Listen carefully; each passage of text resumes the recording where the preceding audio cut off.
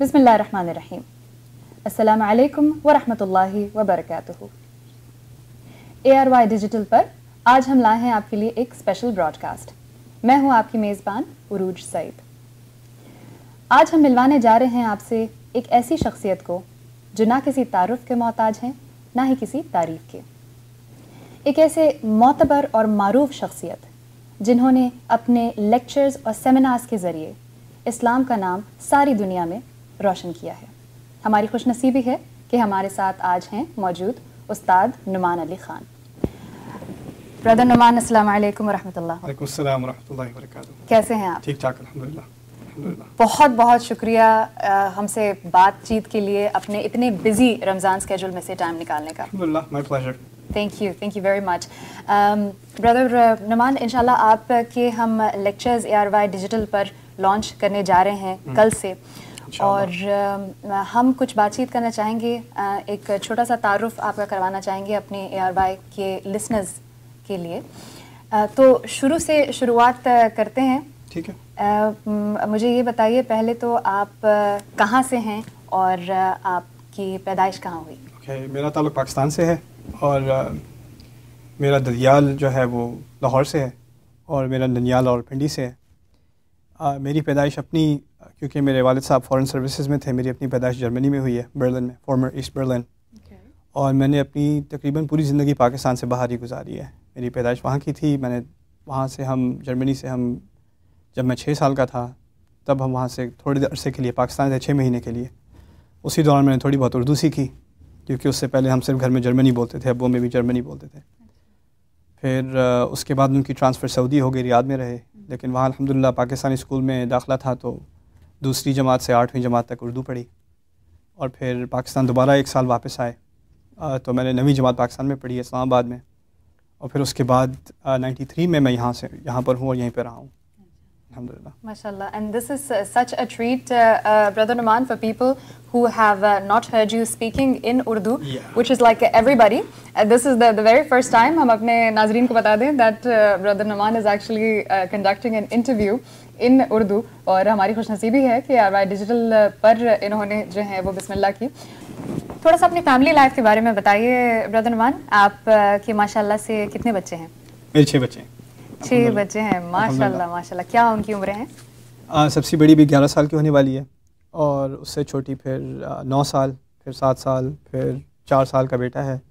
आ, तो तीन बेटियाँ इकट्ठी हैं फिर चौथा बेटा है इमाद और फिर दूसरा उससे छोटा बेटा है वलीद वो भी ढाई साल का है और फिर छोटी ईमान है वो भी एक साल की हुई है सवा साल की हो गई है अलहमदिल्ला तो चार बेटियाँ और दो बेटे।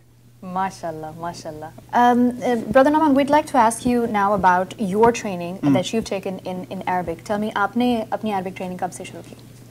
अम, जहाँ तक मुझे याद है पाकिस्तानी स्कूल में सऊदी में भी कुछ गर्दाने तो याद करा देते हैं लेकिन उसका मकसद क्या होता है और वो अप्लाई कैसे होती है मुझे तो नहीं याद कि कैसे करते थे वो फिर जब मैं पाकिस्तान गया थोड़े अरसे के लिए तो वहाँ भी कुछ अरबी ऑफिशियल करिकुलम में थी मैट्रिक के लिए अ, पहले साल के लिए तो वो कुछ पढ़ी अल्हम्दुलिल्लाह उसमें कुछ थोड़ी बहुत समझ आ रही थी लेकिन फिर भी कोई बात बनी नहीं थी क्योंकि वो बड़ा हल्का सा करिकुलम होता है कोई ख़ास उसमें इतनी तवज्जो नहीं दी जाती अरबी में मैथ साइंस हिस्ट्री उन पर ज़्यादा ज़ोर होता है।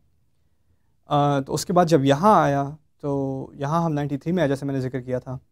लेकिन नाइनटीन नाइन्टी नाइन मेरे पेरेंट्स जा चुके थे यहाँ से अबू की ट्रांसफ़र हो चुकी थी। मैं ठहर गया था वापस अपनी स्टडीज़ कंटिन्यू करने के लिए। तो उस वक्त रमज़ान के दौरान एक प्रोग्राम हो रहा था न्यूयॉर्क में फ्लशिंग में मुस्लिम सेंटर में।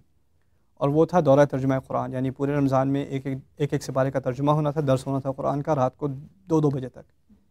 तो वो एक उस्ताद आए हुए थे पाकिस्तान से, डॉक्टर अब्दुलसमी वो अभी भी मेरा ख्याल फैसलाबाद में हैं। तो उन्होंने उर्दू में दर्स किया था कुरान का, और मेरी बड़ी खुशकिस्मती है मुझे उर्दू समझ आती है, क्योंकि मेरी उम्र के जो लड़के मेरे साथ हाई स्कूल में, कॉलेज में थे, उनको नहीं आती थी उर्दू समझ, ज़्यादा नहीं आती थी, बिल्कुल। तो मैंने उन दुरूस का फ़ायदा उठाया और मुझे तो ऐसा लगा पहली दफ़ा कुरान पढ़ा है मैंने। तो मैंने उनसे महीना का दर्स सुनने के बाद जाके उनसे कहा कि I want do what you do तो उन्होंने मुझसे कहा ठीक है कर लो अरबी सीखनी पड़ेगी. तो मैंने कहा मैं अरबी कहाँ सीखूँ?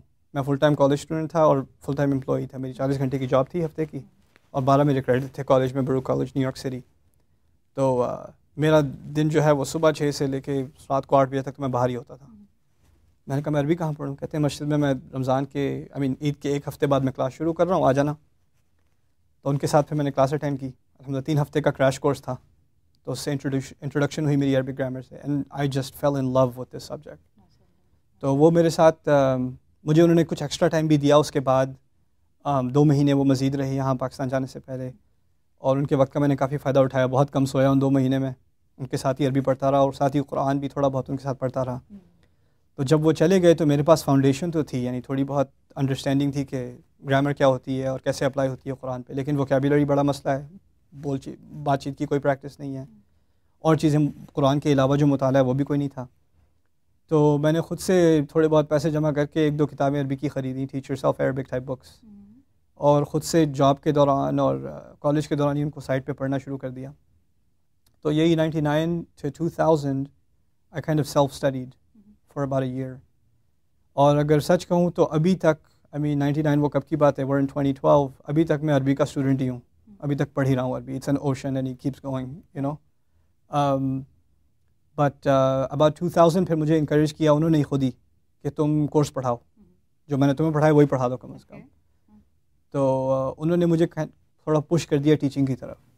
और पहली दफ़ा जब मैंने टीच किया I really really enjoyed it so When there was were this? two things this was in Flushing also 2000 The year 2000. Year So 2000. 12 years ago, you started uh, teaching. the yeah I very was a first teen time? I was maybe 19 20 years old Acha. and I taught this uh, course 21 I remember 21 years old Do you remember what your first lecture was about?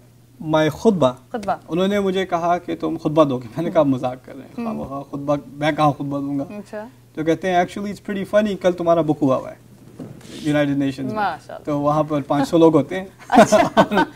मेरा पहला. खुतबा no big deal उससे पिछली रात ही मेरा आ, मामूल था मैं जुमेरात की रात को सूरह कहाँ पढ़ता था। जी.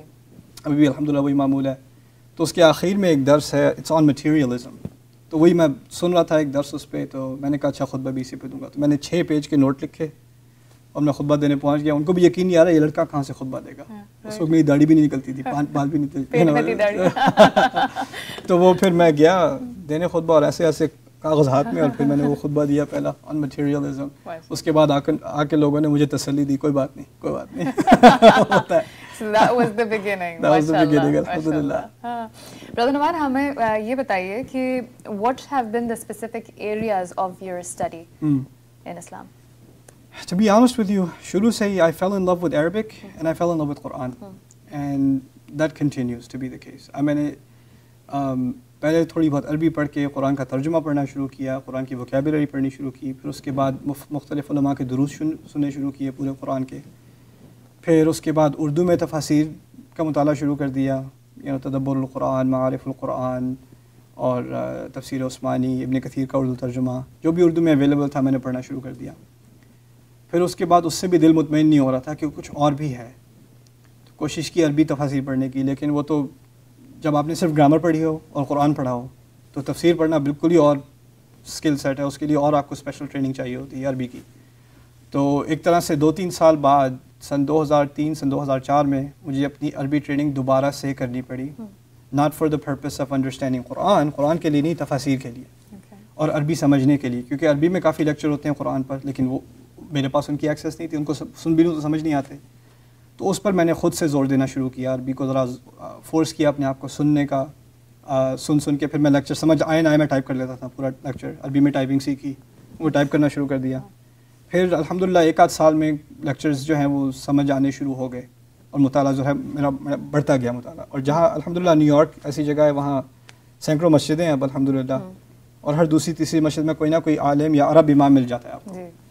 या कोई ना कोई आपका अरबी दोस्त कम अज़ कम होगा तो कहाँ जहाँ जहाँ भी फंसे टीचर तो था नहीं मेरे पास तो जहाँ फंसे वो किसी इमाम के पास लेके ये क्या है ये कैसे होता है ये कैसे होता है तो it's it's just this journey of self study Mashallah. And I kept going alhamdulillah and that's still going on Um, uh, and, that, and that's very fascinating, uh, um, Brother Naman. Now, um, um, mm, taken from, from that, actually, um, I'd like to ask you, you connect very well with the youth.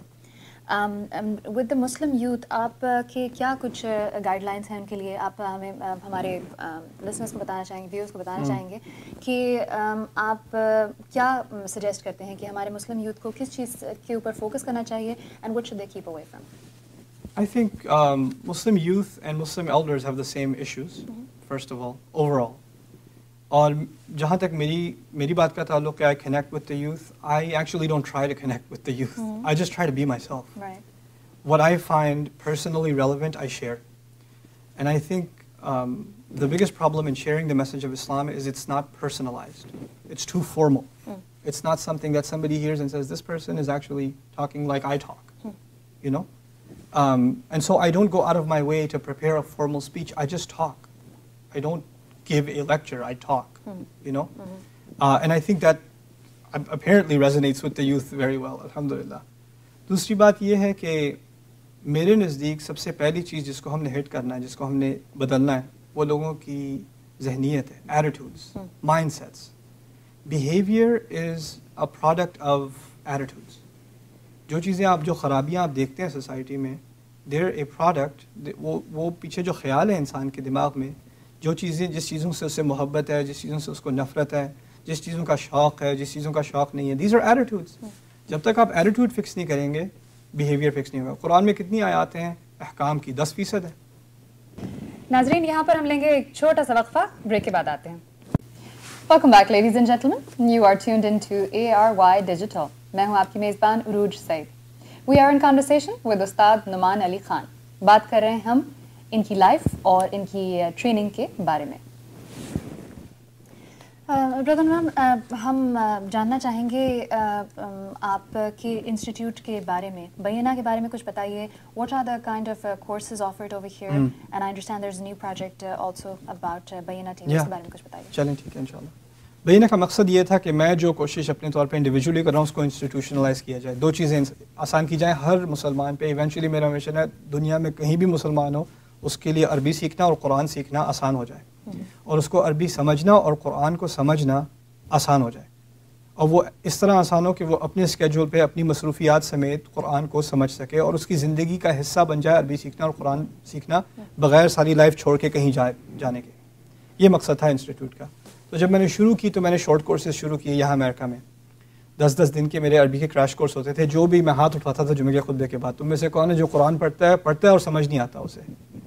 और उसको ख्वाहिश है कि समझ आता हो। हाथ उठा लो उठा उठा लिया अच्छा मुझे दस दिन दे दो दस रातें दे दो I get you started with Arabic फिर तुम उसके बाद दिन के दस मिनट बीस मिनट अगर निकाल सकते हो तो वो काफ़ी है।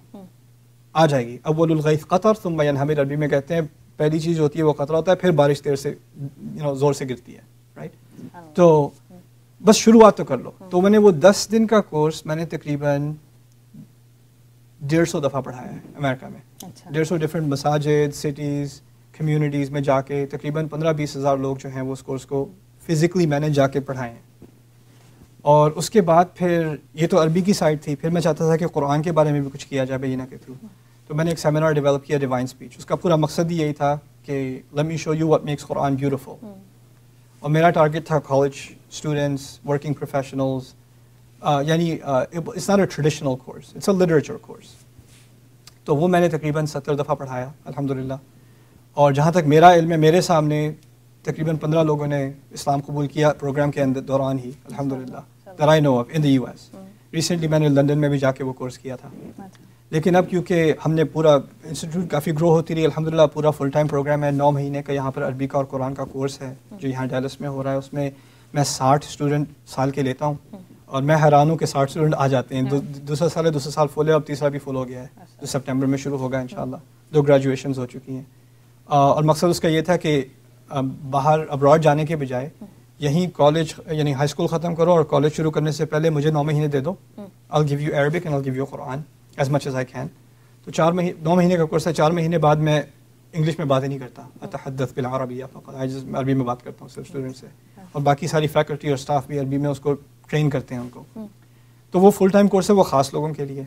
फिर ये आखिरी प्रोजेक्ट जो मैं आपको बताना चाहता हूँ वो ये है उसका नाम है बैना टी वी उसकी वेबसाइट है बैना डॉट टी वी उसका मकसद ये था कि मैं इंटरनेट पर इन दुनिया की सबसे बड़ी Quran and Arabic studies library बनाऊँ।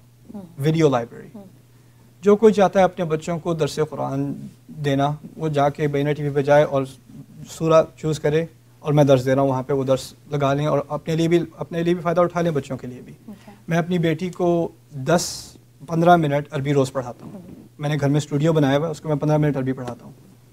और मैंने रिकॉर्ड करता हूँ